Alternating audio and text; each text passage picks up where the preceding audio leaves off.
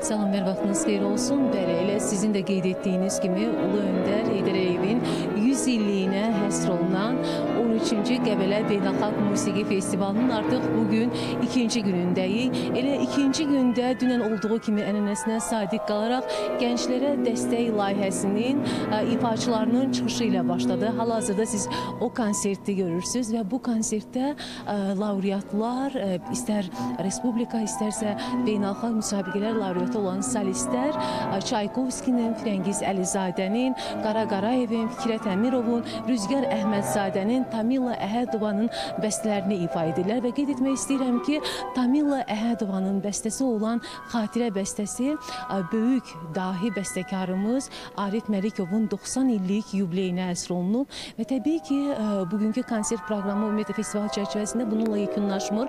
Axşam saatlarında artıq günün ikinci konserti başlayacaq. İkinci konsert isə Azərbaycan Respublikası Simfonik Orkestrının ifası ilə başlayacaq və konsertə rəhbərliyi və dirişoru Azərbaycan Respublikasının əməkdar artisti Fuad İbrahimov edəcək və konsertdə ə, solist ə, Respublika və xarici beynəlxalq müsabiqələr laureatı olan Əli Məmmədovun pianoda ifasını da görəcək tamaşaçılar. Təbii ki, bununla da yekunlaşmır konsert proqramı. Konsert proqramında həmçinin professor, xalq artisti Zəhra Zəhra Quliyevanın ifasında ə, dünya şöhrətli dramaturq Şekspirin sənət nümunələrini də səsləndirəcək. Onu da qonaqlar və tamaşaçılar eşidəcəklər.